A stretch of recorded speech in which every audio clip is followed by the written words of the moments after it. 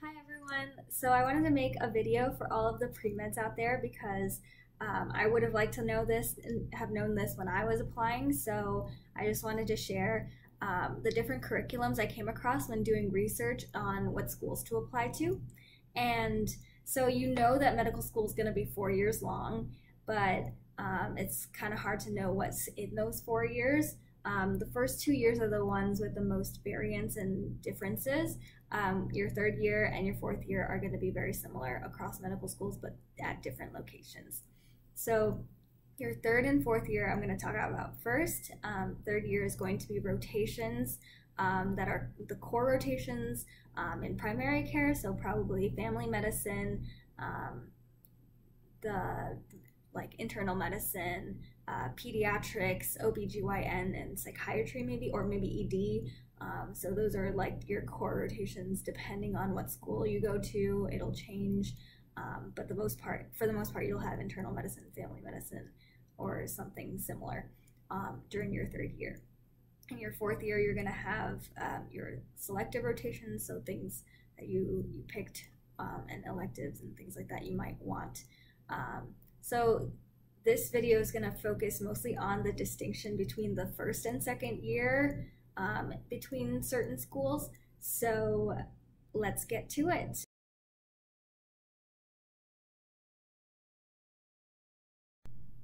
So the first curriculum I wanted to talk about is the very traditional lecture-based basic sciences sort of course. Um, so you're, you're going to have anatomy, biochemistry, cell biology, embryology, histology, human behavior, immunology, neuroscience, physiology, pharmacology, all the ologies. Um, and so a lot of uh, schools will have all of these things. Most likely you'll have anatomy, biochemistry, and all that, that stuff in your first year. Um, and it'll be the normal, like, stuff that your body's already doing. And then the second year, you're going to do all the pathology, like microbiology, all the other ologies that are bad, like pharmacology.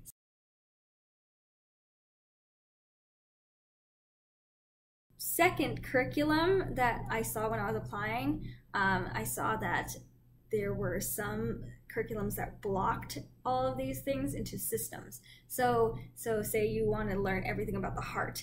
Um, so you're going to learn the anatomy, biochemistry, cell biology of the heart in that system and so you'll like learn these things but it's blocked off into whether or not it's cardio respiratory um, gi tract and metabolism might go together and things like that so that is called like the block or system based um, curriculum and uh, you're gonna do the same like first year is very like just the normal stuff, and then the second year is the bad stuff that might happen to that system.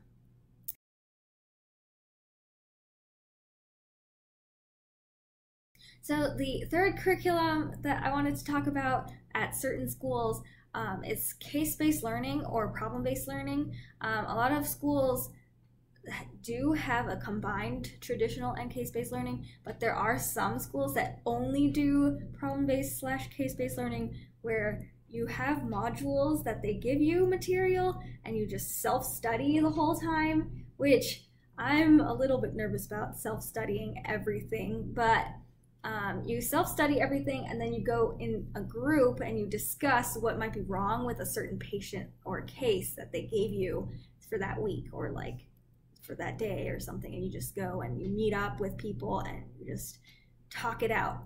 Um, but you have to study on your own. You have to be very self-motivated. So that is something that i did not really want to do. I wasn't that interested in um, trying to study by myself because i know that i'm not quite as self-motivated as i want to be so yeah i think there's like a couple schools i looked at that had that sort of um, curriculum it was like Feinberg uh, School of Medicine in Northwestern and like Bradenton LECOM, like a satellite school.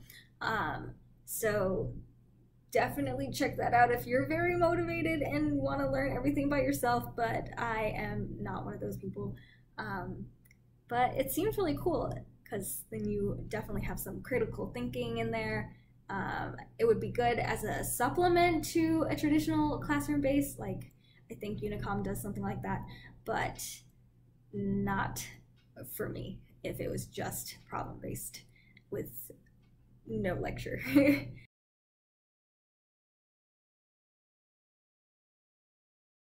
so one school I noticed that's the fourth curriculum um, that was really unique was that they had only one year of like just didactic studying and then the next three years are clinical. So like their second year is more like an integrative clinical and uh, curriculum studying science thing together. So they uh, it's called AT Still University. It's a DO school. Um, definitely keep that in mind that DO schools will have a potential stigma or extra work because you're going to have to learn OMM and you're going to also po- possibly take both the COMLEX and USMLE depending on what specialty you want.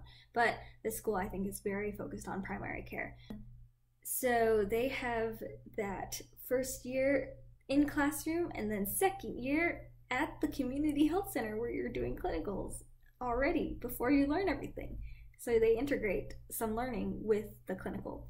So it's very strange. Um, I wrote a, blog post about the, my interview experience there if you ever wanted to check it out because I thought that their interview was also very interesting. Um, so check that out. I will leave a link in the description below. Um, and then these are the curriculums that I was applying to when I was looking at medical schools. I saw that were distinct.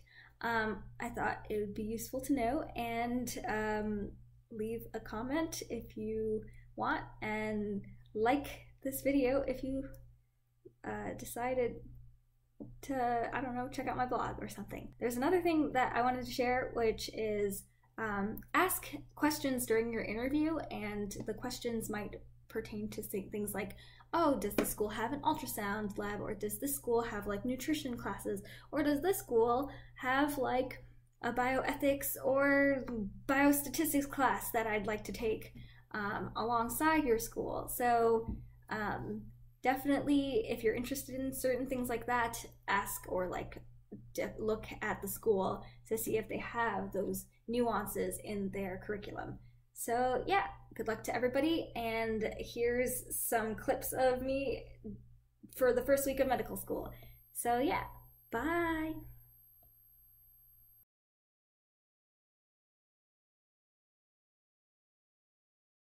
Good morning. It is a little bit of an overcast day, which is kind of nice because I think it's too hot sometimes.